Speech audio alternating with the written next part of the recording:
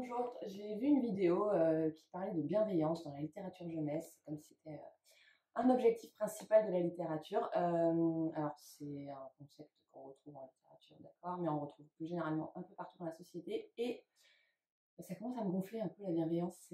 Donc, bah, moi, j'ai envie aujourd'hui de vous présenter plein de bouquins pour enfants et ados, accessibles aux parents aussi, évidemment.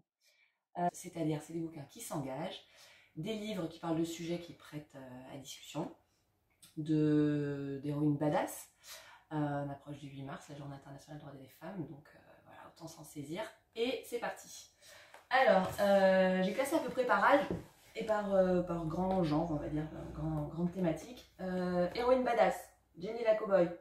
On n'a pas beaucoup de livres qui présentent les filles dans des rôles dynamiques, intrépides et autonomes, donc voilà, juste quelques-uns qui en plus sont plutôt marrants.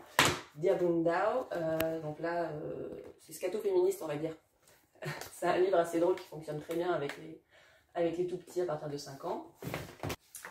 On n'est pas des poupées, mon premier manifeste féministe. Donc là, c'est vraiment un livre euh, engagé parce qu'il n'est jamais trop tôt pour lutter contre les stéréotypes de genre. voilà, avec de très très beaux collages. Ce sont des livres anciens hein, que je vous montre. il y en a des récents, il y en a qui ont une petite dizaine d'années. C'est tiré de ma bibliothèque, donc, donc voilà, j'ai pas tout évidemment mais je vous conseille ce que j'ai. Ruby tête haute euh, sur le racisme aux États-Unis avec le combat de cette euh, petite fille qui se bat pour aller dans une école euh, réservée aux blancs. Fichi dans évidemment, l'intégrale, voilà, tout à lire. Les petites reines de Clémentine Beauvais, hyper drôle et hyper féministe. Secret de sorcière, évidemment, parce qu'il faut savoir d'où on vient. Mauvaise fille, incorrigible et rebelle. Ça, c'est vraiment pour les très très grands. C'est euh, en fait c'est un livre pour adultes euh, normalement, mais que bien sûr on peut donner à des ados. Et là, j'ai quelques romans. Alors, bon, bah, la couverture n'est pas la bonne, hein, c'est des épreuves non corrigées. Donc, Les Trois Sœurs et le Dictateur, euh, sur les Sœurs Mirabal, leur lutte. Rage, une, le surnom donné à une jeune fille qui, a, qui est partie en exil et qui a rencontré beaucoup, beaucoup de violences, évidemment violence masculine principalement, et c'est son combat et son affirmation. Euh, le connu et récent Sans foi ni loi de Marion Brunet, avec une héroïne incroyablement euh, forte, puissante, drôle et attachante, tout en étant assez cruelle quand même et euh, pleine de violence, parce que oui, il y a aussi des femmes avec de la violence, mais elle n'est pas vaine, donc tout va bien. là où tombent les anges, euh, Charlotte Bousquet, pareil, euh, autrice extrêmement féministe, euh, engagée dans quasiment tous ses romans. Et Jeanne Benhammer, Pas assez pour, faire une femme, sur la découverte de son identité, son affirmation de soi, qui passe par le corps, qui passe par les études, qui passe par plein de choses. Bon voilà, ça c'était pour les héroïnes badass. Après, si on rentre plus dans les thématiques possibles, alors pour Claude Conti, Mon amour à partir de 6 ans, je dirais, sur les violences conjugales euh, alors bien sûr, c'est en filigrane, les enfants ne mettront pas ce mot-là, mais le double sens de lecture est complètement accessible euh, aux parents et les enfants euh, quand même réalisent à peu près ce qui se passe.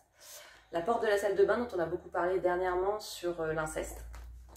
Septième étage, ça c'est une super BD, vraiment très très... Enfin moi j'ai adoré. voilà, je montre un petit peu l'intérieur, le style. qui est en fait un projet d'étude qui a fini par être étudié et c'est sur l'emprise dans un couple. Ensuite, on va passer au genre. Alors, le classique histoire euh, de Julie qui avait une ombre de garçon. Euh, un livre assez ancien qui a été réédité euh, il y a quelques années et qui est toujours aussi contemporain. Voilà, Papa porte une robe dont on a beaucoup entendu parler aussi, en même temps que d'ailleurs que tout sa poil. en même temps que tout sa poil. c'est les livres euh, qu'on a invité à mettre, à, mettre au bûcher euh, il y a 5 ou 6 ans. Euh, et un autre livre sur la transidentité qui s'appelle Georges. C'est un des premiers qui est paru en France vraiment consacré à ce sujet-là. Voilà, voilà. après, on peut partir sur le Jérôme Parker de Thomas Cotto que je vais présenter en même temps que Ça change tout de Cathy parce que les deux sont sacrément complices en général dans leur écriture et qui vont très bien ensemble. Donc là, c'est pour les petits 5 euh, ans, 5-6 ans, sur euh, la lutte contre l'homophobie en fait. Quand on est un peu plus grand, qu'on arrive au collège, on, lit À copier 100 fois d'Antoine Doll, qui est un roman coup de poing extrêmement court, extrêmement rapide, c'est écrit gros, ça se lit très bien. Et c'est vraiment sur, euh, sur, euh, sur l'homophobie et la lutte contre l'homophobie euh, entre un père et, son fils. Voilà. Et enfin, alors des ouvrages un peu plus documentaires sur la langue, le langage, le zizi des mots, parce que oui, les mots ont un genre. Euh, exemple, ça sera plus prégnant. Au masculin, les mots de ce livre désignent des personnes. Quand on les passe au féminin, ils désignent des objets, des choses.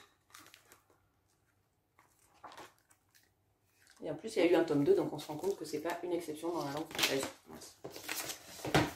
Euh, pour poser les bases, la déclaration des droits des filles, la déclaration des droits des garçons, la déclaration des droits des mamans, la déclaration des droits des patas. Voilà, donc là on revient vraiment euh, à l'essentiel. Ensuite, nous ne pouvons donc pas sauver le monde en respectant les règles. Ces règles ont besoin d'être changées. Tout doit changer. Cela doit démarrer aujourd'hui. C'est une citation de Greta Thunberg et c'est un, ouvrage qui euh, dresse le portrait de jeunes qui veulent changer le monde. Et pareil, pour les ados, comme le précédent, euh, l'encyclopédie des rebelles, insoumis et autres révolutionnaires pour découvrir des figures qui ont fait bouger le monde, qui ont révolutionné ou tenté de le faire bouger. Euh, que ce soit des esclaves, des soldats, euh, des kidams. euh, voilà, ils se sont opposés aux tyrans, aux dictateurs et ils ont repoussé les limites. Alors bien sûr, ces livres ne sont pas malveillants, ils sont simplement là pour illustrer un petit peu l'importance des prises de position, des aspérités, des, de sortir un peu de la tiédeur générale qu'on voudrait euh, appliquer à tout tout le temps, euh, et notamment à la littérature pour enfants qui mérite bien mieux que ça. Euh, je vous mets bien sûr toutes les références de chacun de ces ouvrages en commentaire, auteur, éditeur. Et n'hésitez pas à les feuilleter, les découvrir et surtout les faire partager à vos petits, vos enfants qui sont autour de vous. Salut